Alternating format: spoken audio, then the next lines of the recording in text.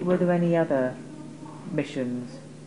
Well, after I left the ground reconnaissance team, I flew uh, almost daily over the, the Ho Chi Minh Trail. And there was, you know, several uh, uh, missions and, and uh, having been on the ground, knowing what's down there and seeing it from the air, uh, you get a better idea of the overall uh, makeup of the trail.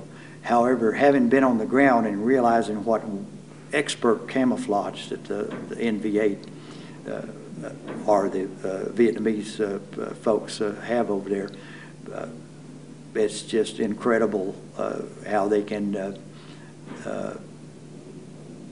They would even camouflage bomb craters, put a uh, canvas or a, a cover over a bomb crater, and from the air, we think we're seeing a, a bomb crater, yet it may be a supply point. and uh, at night they take the take the canvas and the dirt out, and, and it's a, a just an excellent. Uh, uh, we had mock-ups in World War II where you'd see airfields with uh, pasteboard or cardboard uh, aircraft.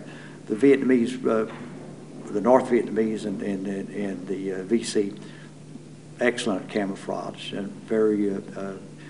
You could walk right by a, a position and never know that it was a. They had spider holes or. Uh, uh, no pun intended, uh, but they had holes that uh, for uh, along the trail where they could just uh, dive in them or, or go in them. And some of these, uh, they knew which ones. Some were even uh, booby trapped because they knew our folks were in there.